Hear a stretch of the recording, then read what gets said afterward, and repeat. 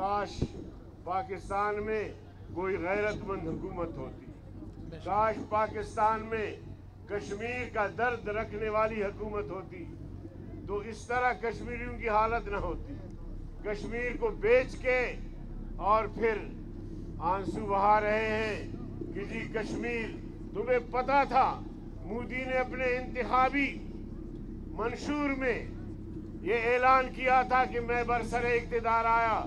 تو کشمیر کی اسٹیٹس کو ختم کروں گا کشمیر کو انڈیا میں ضم کروں گا تو تم نے کیا سفارت کاری کی؟ تم نے کشمیر کی اسٹیٹس کو بچانے کے لیے کیا کردار ادا کیا؟ اور اسی طرح تم نے خود کہا تھا کہ کشمیر کو تین حصوں میں تقسیم ہونا چاہیے۔ یہ تمہارا کہنا تھا۔